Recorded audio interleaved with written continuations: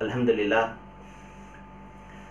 الحمد لله رب العالمين والصلاة والسلام على رسوله الأمين أما بعد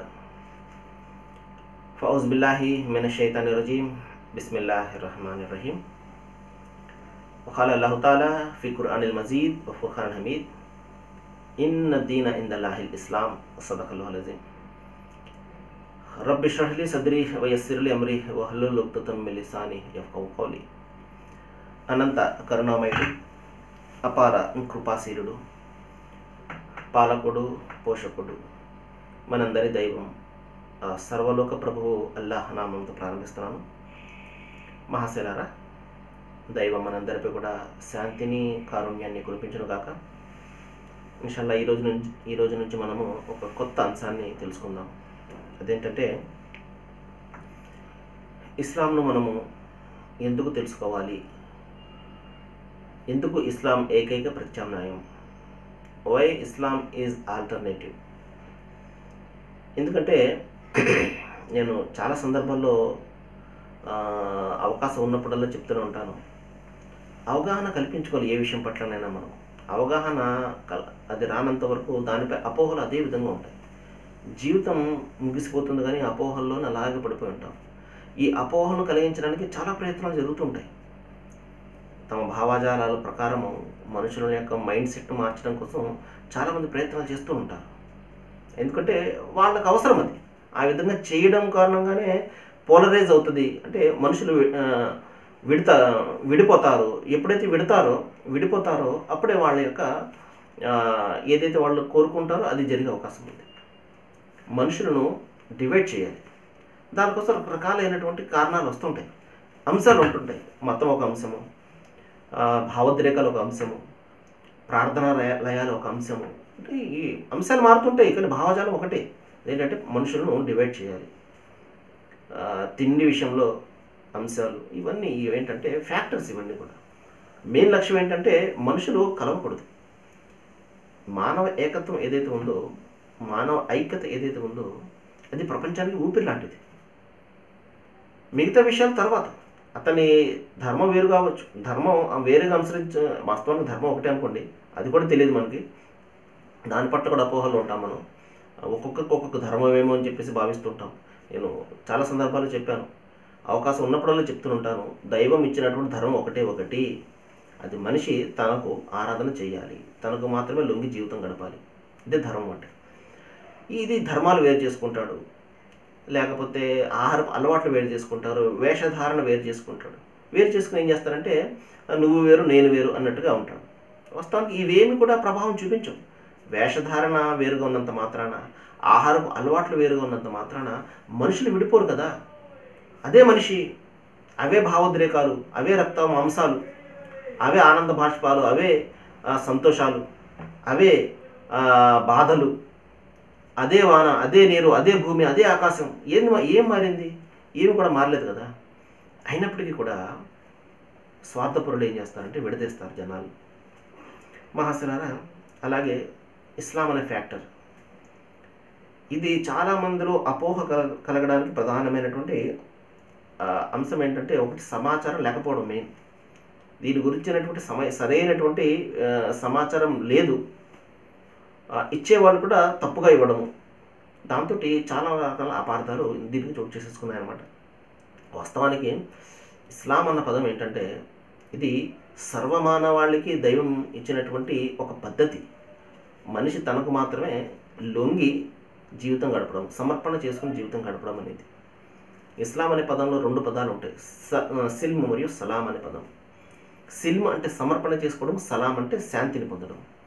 అంటే ఒక మనిషికి శాంతి ఎప్పుడు కలుగుతుందంటే తన అహాన్ని తన యొక్క మనోకాంక్షలను పక్కన పెట్టి దైవం యొక్క ఆజ్ఞ దైవానికి లొంగి ఆయనకు సమర్పణ చేసుకుని ఆయన ఆజ్ఞ జీవితం గడిపినప్పుడు అతనికి శాంతి ప్రాప్తమవుతుంది. తనలాంటి మనుషులకు లొంగి జీవితం గడిపినప్పుడు తనలాంటి బలహీనమైనటువంటి వ్యక్తులకు అతను లొంగి జీవితం గడిపినప్పుడు అది అతనికి శాంతినివ్వదు ఇది మెయిన్ కాన్సెప్ట్. కాబట్టి ఈ ఇస్లాం అనే ధర్మం సరే ఇస్లాం అన్న పదంలో ఏదైనా అభ్యంతరం ఉంటే లేదంటే ఇది ముస్లింలకు చెందినటువంటి పదంగా నాకు కనబడుతుంది నేను దాన్ని యాక్సెప్ట్ చేయలేకపోతున్నాను అంటే సరే ఇస్లాం అన్న పదాన్ని పక్కన పెట్టండి. విధేయత అన్న మాట ఉపయోగించండి. సమర్పణ అన్న మాట ఉపయోగించండి. శాంతి అన్న మాట ఉపయోగించండి లేకపోతే అప్పుడు అభ్యంతరం ఉండదు కదా. ఈ శాంతి ధర్మం ఏదైతే ఉందో దైవం విధించినటువంటి ధర్మం అనాది నుండి తన ప్రవక్తల ద్వారా తన గ్రంథాల ద్వారా ఇదే ధర్మాన్ని బోధించాడు. ఏకేశ్వర ఉపాసన. నేను చాలా ఎపిసోడ్లో చెప్పాను. ఒకే ఈశ్వరుని లొంగి ఆయన ఒక్కరికి మాత్రమే జీవితం గడపడం. ఆయన ఒక్కరికి మాత్రమే ఆరాధన చేసి జీవితం గడపడం. ఇదే ఏకేశ్వర ఉపాసన ఇదే ఇస్లాం ఇదే శాంతి ఇదే సమర్పణ ఇదే విధేయత.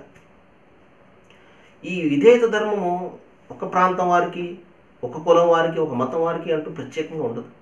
సర్వమానవాళికి ఇది చెందింది. ఏ విధంగా అయితే వాన సర్వమానవాళి యొక్క హక్కు ఏ విధంగా అయితే ఎండ సర్వమానవాళి యొక్క హక్కు ఏ విధంగా అయితే గాలి సర్వమానవాళి యొక్క హక్కు దైవం సర్వమానవాళికి చెందినవాడు. దైవ ధర్మం సర్వమానవాళికి చెందింది. ఒకసారి ఈ డిఫరెన్స్ ఏదైతే ఉందో ఈ భేదాలు ఏదైతే ఉందో ఒకసారి మనం దీనిపై అవగాహన ఉన్నట్లయితే చాలా చాలా మటుకు భేదాలు మనలో తొలగిపోయే అవకాశం ఉంది. కాబట్టి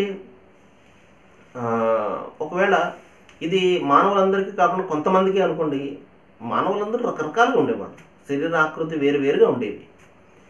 ఇప్పుడు చూడండి రెండు కంపెనీలు ఒక వస్తువును ఒకే విధంగా తయారు చేస్తాయా? చాలా సింపుల్ అయినటువంటి ఇప్పుడు రెండు రెండు ఫోన్ కంపెనీస్ ఉన్నాయండి. శాంసంగ్ ఉంది యాపిల్ ఉంది. ఈ రెండు కూడా తమ ఫోన్లు ఒకే టైప్లో తయారు చేస్తాయా? లేదు కదా డిఫరెంట్ డిఫరెంట్ ఫీచర్స్ పెడతాయి అట్రాక్ట్ చేయడం కోసం. అలాగే ఇద్దరు క్రియేటర్లు ఉన్నారనుకోండి మనకు ఒకలాగా ఎలా తయారు చేస్తారు? అతను అలా పెట్టాడా? నేను ఇలా పెడతాను అని చెప్పేసి ఇంకో విధంగా తయారు చేసుకుని ఉండేవాడు కదా. ఎంత అస్తవ్యస్తం అయిపోయింది లాజిక్గా చెప్తాడు ఖురాన్లో. లౌకాన ఫీహిమ ఆలిహతన్ ఇల్లల్లా ఫసదతన్. ఈ భూమి ఆకాశాల్లో మీరు అనుకున్నట్టుగా ఒకరు కాకుండా అనేక మంది లేకపోతే ఇద్దరు ముగ్గురు ఉన్నట్లయితే సృష్టికర్తలు సృష్టి అంతా కూడా చిన్న భిన్నమైపోయేది కకలావికలమైపోయేది. సర్వనాశనం అయిపోయేది సృష్టి సమతుల్యత. నన్ను ఎపిసోడ్లో నేను చెప్పాను. ఎంత బ్యాలెన్స్గా దైవం పెట్టాడో చూడండి. హేలీతో ఒక చుక్క డెబ్బై ఒక్క సంవత్సరాలకు ఒకసారి కనబడుతుంది అని చెప్పేసి శాస్త్రజ్ఞులు మనకు చెప్తారు. ఎందుకు డెబ్బై ఒక్క సంవత్సరాలుగా కనబడుతుంది? గతంలో కూడా అలాగే కనబడింది కాబట్టి. ఆ పై కూడా అలాగే కనబడింది కాబట్టి. అది ఒకసారి యాభైకి ఒకసారి నలభైకి ఒకసారి ముప్పైకి కనబడింది అనుకోండి మన శాస్త్రజ్ఞులు అంచనా వేసే వేయలేకపోయేవారు మళ్ళీ డెబ్బై ఒకటి సంవత్సరాలకి అది ఎందుకు కనబడుతుంది అని ఎందుకు చె- ఎలా చెప్పగలిగారు అంటే గతంలో కూడా అదే విధంగా కనబడింది కాబట్టి. అలా కనబడిందంటే కారణం ఏంటంటే ఒక సృష్టి అంతా కూడా ఒక క్రమంగా నడుస్తుంది కాబట్టి. గజిబిజి గందరగోళంలా అయోమయంగా నడిచింది అనుకోండి ఎవరైనా గెస్ట్ చేయగలుగుతారా లేదు? దీని వెనక ఏంటి? ఓ చాలా పకడ్బందీగా ఒక ప్లాన్ ప్రకారం నడుపుతున్నాడు. అంత ఒక ప్లాన్ ప్రకారం జరుగుతుంది. మహాశిలరా ఇక రండి. ఖురాన్లో దైవం ఏదైతే ధర్మాన్ని చెప్పాడో ఈ ఇదే ధర్మం గతంలో కూడా ఇదే ధర్మాన్ని బోధించాడని చెప్పేసి నేను చెప్పాను కదా. ఖురాన్ చెప్తాడు లహద్ అంజన్న ఇలేకం కితాబ్ ఫీహి జిక్రిగం అఫ్లా తాకిలు అంటాడు. ఈ ఖురాను నేను మీకోసమే పంపించాను అంటాడు అక్కడ మీరు అంటే మానవాడి ముస్లిం కాదు. ముస్లిం అంటే అర్థం ఏంటంటే ఆహా దేవుడు ఒక్కడే నేను ఆయనకు లొంగి జీవితం గడపాలి అని నమ్మినవాడు ఆ, విధంగా ఒప్పుకున్నవాడు ముస్లిం అని పిలవబడతారు ముస్లిం అంటే పేరు ఒక ఒక పద్ధతిని అనుసరించే వాడిని ముస్లిం అంటారు. అంటే సమర్పణ చేసుకుని విధేయత చూపించేవాడిని ముస్లిం అంటారు. అంతే తప్పించి ఇది ఒక నామవాచకం కాదు. ఏదో పేరు కాదు ఇది. అది అదేంటంటే ఒక పని చేసే వ్యక్తిని ముస్లిం అంటారు. ఇస్లాం అంటే ఒక పని అది ఒక పద్ధతి ఒక మార్గం ఒక విధానం. అలా చేయడము అనేది అనమాట అలాగే చేసేవాడిని ముస్లిం అంటారు. సరే నేను నేను చాలా సందర్భాల్లో ఈ మాట చెప్పాను. మళ్ళా మళ్ళీ ఎందుకు రిపీట్ చేస్తున్నాను అంటే మహాశిలరా ఎక్కువగా అపోహలకు లోనైనటువంటి పదం కూడా ఇదే. అందుకనే అవకాశం ఉన్నప్పుడల్లా నేను ఇదే విషయం చెప్తున్నాను. మీకు అనిపిస్తుండొచ్చు ఇదేంటంటే ఎన్నిసార్లు చెప్తున్నారు ఎంత రిపీట్ చేస్తున్నారంటే ఇదే విషయం అని చెప్పేసి. ఎన్నిసార్లు చెప్పినా మళ్ళీ అదే అపోహ. ఇస్లాం అంటే మళ్ళీ వేరు. ముస్లిం అంటే గడ్డం పెట్టుకున్నవాడు లేకపోతే టోపీ పెట్టుకున్నవాడు ఈ విధంగా భాష మాట్లాడేవాడు. ఈ విధమైనటువంటి ఆలోచన మనలో వచ్చేస్తుంటుంది. అది కాదు అని చెప్పేసి నేను ప్రయత్నం చేస్తున్నాను. భాష ఇది టోపీ పెట్టకపోయినా ముస్లిం అవుతాడు. గెడ్డం పెట్టకపోయినా ముస్లిం అవుతాడు. భాష మాట్లాడకపోయినా ముస్లిం అవుతాడు. ముస్లిం అంటే ఎవరైనా కావచ్చు. ఎవరంటే ఆ సృష్టి ప్రభువుకు లొంగి జీవితం గడిపేవాడిని ముస్లిం అంటారు. ఆ లొంగి గడిపే ఆ పద్ధతిని పాటించేవాడిని ముస్లిం అంటారు. మహాసేనారా మనము దైవ ధర్మాన్ని అర్థం చేసుకోవాలి అంటే ఈ తత్వాన్ని అర్థం చేసుకోవాలంటే ప్రధానంగా మనం ఏం చేయాలంటే మన జ్ఞానాన్ని మన బుద్ధిని ఉపయోగించాలి. గుడ్డిగా ఏది కూడా అనుసరించకూడదు ఎవరిని నమ్మకూడదు గుడ్డిగా. ఎవరు ఏదో చెప్పారు తాత ముత్తాతలు చెప్పారు అది చెప్పారు కాదు. దైవం దైవం తన ప్రవక్తల ద్వారా తన గ్రంథాల ద్వారా ఒక మార్గం నిర్దేశం చేశాడు మనకు. గాలికి వదిలిపెట్టేలేదు.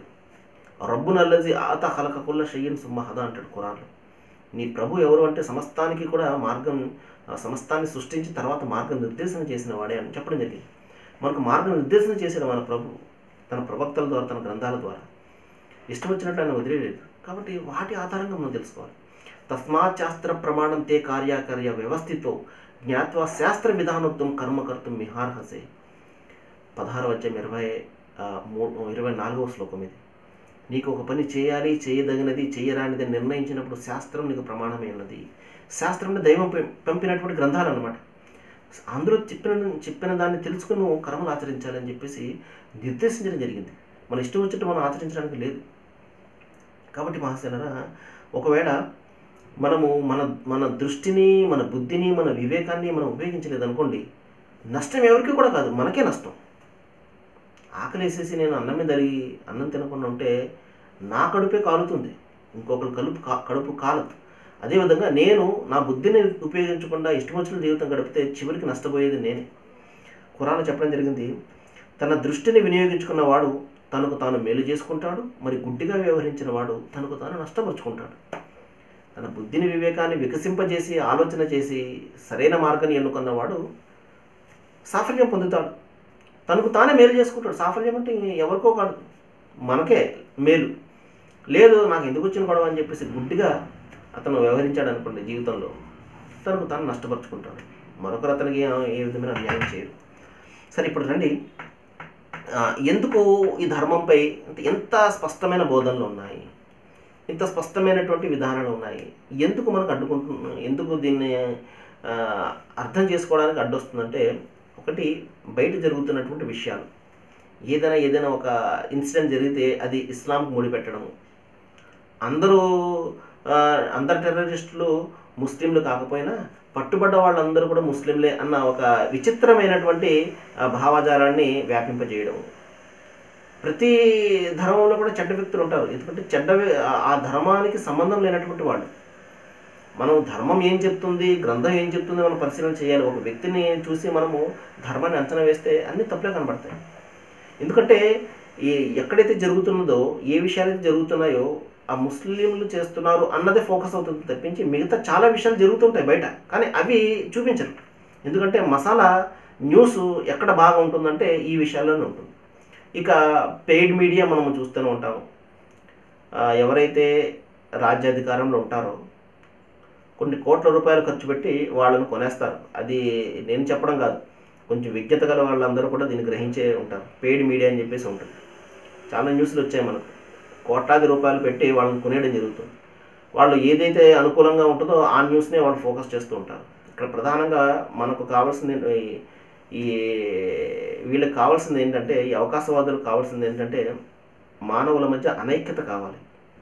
నువ్వు వేరు నేను వేరు అని ఉన్నప్పుడే వాళ్ళకు రోడ్లు ఓట్లు రాలుతాయి. అందరు కలిసి ఉంటే ఓట్లు ఓట్లు వాళ్ళకి పడవు.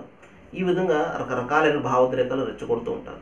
ధర్మాన్ని తీసుకుని మధ్యలో వస్తుంటారు ఒకవైపున చెప్తుంటారు ఈ ధర్మ చేస్తున్న దానికి ధర్మానికి ముడిపెట్టకూడదని చెప్తూనే ఉంటారు. కానీ ఈ విధంగా ప్రాపగేషన్ జరుగుతూనే ఉంటుంది. ఎక్కువగా ముస్లింల అభద్రతా భావానికి గురవుతుంటారు. ఏదైనా ఒక ఇన్సిడెంట్ జరిగితే వీళ్ళు రోడ్డుపై వచ్చి మాకు దానికి సంబంధం లేదు అని చెప్పుకోవాల్సిన దుస్థితి ఈ రోజున ముస్లిం సమాజంపై ఉంది. మీరు చూస్తూనే ఉంటారు చూసారా? ఎవ్వరికి ఎవ్వరు ఏమీ పట్టదు కానీ అక్కడ ఏదైనా జరిగిందంటే ముందు రోడ్డు ఎక్కి మేము దీన్ని ఖండిస్తున్నాం అని చెప్పేసి ముందు ఖండన ప్రకటన ఇవ్వాలి వీళ్ళు. ఒకవేళ లేదనుకుంటే వీళ్ళ దేశభక్తిపై నీళ్ళ నీడలు కమ్ముకుంటూ ఉంటాయి. వీళ్ళ దేశభక్తి ఉందా లేదా అని చెప్పేసి. మహాశిల దేశభక్తి అనేది ఇది చెప్పుకునేదా అది? చెప్పుకునేదా? గుండెల్లో ఉండేదా? నాకు చెప్పండి. ఇప్పుడు దేశం యొక్క పటాన్ని గుండెలపై వేలాడి తీసుకుని నాకు దేశభక్తి ఉన్నది అని చెప్పుకుంటే నా దేశభక్తి ఉంటుంది. దేశం కోసం ప్రాణాలు అర్పించే ఆ తత్వం బయటకు రావాలి అవసరమైనప్పుడు. అది దేశభక్తి మహాశైలర దేశ ప్రేమ అంటే అది. దేశం కోసం ప్రాణాలు ఇవ్వడానికి మనం ఎప్పుడు సంసిద్ధంగా ఉండాలి. అవసరమైనప్పుడు అవసరమైనప్పుడు మన దేశం యొక్క ఐక్యత కోసం కృషి చేస్తూ ఉండాలి. అది దేశ ప్రేమ అంటే.